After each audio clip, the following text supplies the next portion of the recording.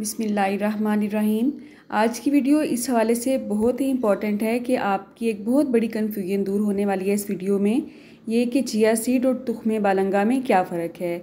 इन दोनों की अफादियत भी हम डिस्कस करेंगे। आपने इन्हें कहाँ से मंगवाना है, ये भी डिस्कस करेंगे। कौन लोग इन्हें खा सकते हैं, ये भी डिस्कस करेंगे। तो इस छोटी सी वीडियो के एंड तक आपने मेरे साथ रहना है, ठीक है? आज की इस वीडियो का आगाज़ इस दुआ के साथ करते हैं कि अल्लाह आप सबका दस्तखन सजाए रखे और हम सबको सेहत और ईमान का रिस्क ता फरमाए। तो इस वक्त आपको सीड्स जो नज़र आ रहे हैं, ये हैं तुखमे बलंगू। इसको तुखमे मलंगा, तुखमे बलंगा भी कहा जाता है। इसकी तासीर को ठंडा माना जाता है, इसलिए इसे गर्मी में इस्तेमाल किया जाता है और इसे भिगो के इस्तेमाल किया जाता है। भिगोए बगैर इसे इस्तेमाल नहीं किया जाता है। तो आप देख सकते हैं इसका कलर काफ़ी डार्क है, बिल्कुल ब्लैक है ये। अब बात करते हैं चिया सीड की। चिया सीड को उर्दू में भी चिया सीड ही कहते हैं। जो लोग ये कहते हैं कि इसे तुखम शरबती कहा जाता है तो ये बिल्कुल गलत है। 2009 में डॉक्टर शहजाद बसरा ने इसे इंट्रोड्यूस करवाया था पाकिस्तान में और इन्होंने उनका नाम उर्दू में भी चिया सीड ही रखा था। तुखम का मतलब होता है बीज और शरबती का मतलब है शरबत में डालने वाले। इस हिसाब से देखा जाए तो तुखमे बलंगा भी तुखमे शरबती ही हैं। तो इसका उर्दू नाम भी चिया के बीज ही हैं। तो आपने जब भी जनरल स्टोर से इसे ख़रीदना है, इसे आपने चिया के नाम से ही ख़रीदना है। ये शेप में थोड़े से बैस भी होते हैं और छोटे छोटे अंडों की तरह लगते हैं। ये ब्लैक ब्राउन और वाइट मिक्स होते हैं। पानी में डालने के बाद आप देखें तुखमे बलंगा इस तरह से हो जाता है और 10 से 15 मिनट में अच्छा खासा फूल जाता है। सेंटर से ये ब्लैक ही रहता है और आप देख सकते हैं, इसके साइड पे जो भी इसका लुआब है, ये ट्रांसपेरेंट शक्ल में आता है और लेसदार हो जाता है।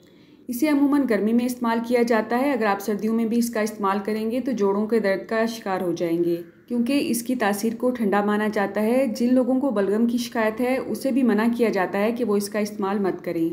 अब बात करते हैं चिया सीड्स की। इन्हें आप वैसे भी इस्तेमाल कर सकते हैं और पानी में भिगो के भी इस्तेमाल कर सकते हैं। अगर आप इसे पानी में भिगो के इस्तेमाल करेंगे तो ज़्यादा बेहतर है। तो पानी में भिगोने के दो घंटे के बाद आपने इसका इस्तेमाल करना है और आप इसे सारा साल इस्तेमाल कर सकते हैं, क्योंकि इसकी तासीर मोतदल होती है। ना तो गर्म और ना ही बहुत ज़्यादा ठंडी, ठीक है? हर बीज के अपने फ़ायदे हैं। आज ये वीडियो बनी है चिया सीड के बारे में। तो यहाँ पे हम चिया सीड की, तासीर की ज़्यादा बात करेंगे। इसके फ़वाद को ज़्यादा डिस्कस करेंगे। ये भी मैं आपको बताऊँगी कि आप चिया सीड का इस्तेमाल किस किस तरह से कर सकते हैं। चिया सीड हड्डियों को मज़बूत करता है, खून की कमी को कम करता है। कब्ज़ का जो शिकार हैं लोग, वो इसे इस्तेमाल करें तो इनशाला उससे फाका होगा। दिल के पट्टे ये मज़बूत करता है। इसके अलावा जो लोग हाई ब्लड प्रेशर के मरीज़ हैं, वो अगर इसे इस्तेमाल करते हैं तो उन्हें ज़रूर फाका होगा क्योंकि ये बीपी को कम करने में बहुत मददगार साबित होता है। शुगर के मरीज़ इसे बेफिक्र होकर इस्तेमाल कर सकते हैं क्योंकि ये शुगर लेवल को कंट्रोल करता है। वज़न कम करने की अगर बात की जाए तो उसके लिए भी ये कारामद साबित होता है क्योंकि इसे खाने के काफ़ी देर तक आपको भूख महसूस नहीं होती है। लेकिन इसका ये मतलब नहीं है, जस्ट आप चिया सीड खाएँ और वज़न कम करें। इसके अलावा भी आपको अपनी डाइट का ख्याल रखना पड़ेगा, एक्सरसाइज करनी पड़ेगी तो ही चिया सीड का असर होता है। चिया सीड को भिगोए बगैर अगर खाया जाए तो ये बहुत ही क्रंची और बहुत ही टेस्टी लगते हैं। मैं अमूमन इसे दही के साथ इस्तेमाल करती हूँ। आधा केला आप दही में ऐड कर लें। सेब छिलके के साथ या छिलके के बगैर वन फोर्थ भी अगर आप इसमें ऐड कर लेते हैं छोटे छोटे पीसेस काट के तो इससे भी अच्छी खासी फुलनेस महसूस होती है। आपने इसके अंदर स्वीटनर के तौर पे कुछ ऐड करना है तो हनी ऐड कर लें, वरना स्टीविया तो मार्केट में बहुत इजीली अवेलेबल है। इसे अच्छी तरह से मिक्स कर लेना है आपने और ये मुकम्मल नाश्ता होता है, अल्हम्दुलिल्लाह। अगर आपके पास हेल्दी नाश्ते की कोई चॉइस नहीं है तो आप ये ट्राई करके एक दफ़ा देखें इन आप दुआएँ देंगे मुझे।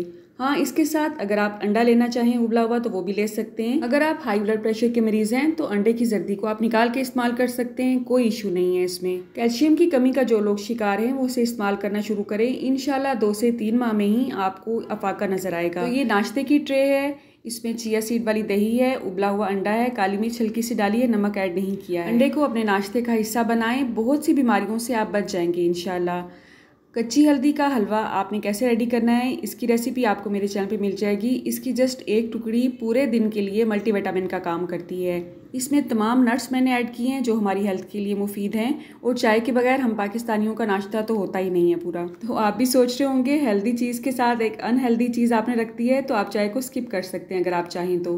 तो मैंने इसे ऑनलाइन ऑर्डर किया था दराज से। आम सीड्स की नस्बत आपको लगेगा इसकी प्राइस थोड़ी सी हाई है, लेकिन ऐसी बात नहीं है, क्योंकि हमने इसे किलो के हिसाब से नहीं ख़रीदना होता, ग्राम के हिसाब से ख़रीदना होता है। पचास ग्राम भी अगर आप लेते हैं तो एक महीने के लिए वो एक बंदे के लिए इनफ होते हैं, क्योंकि हमने दो छोटी चम्मच एट अ टाइम या दिन में एक दफ़ा ही इस्तेमाल करने होते हैं। इससे ज़्यादा अगर आप इस्तेमाल करेंगे तो आपको और मसाइल हो सकते हैं, जैसे कि पेट में गैस वगैरह।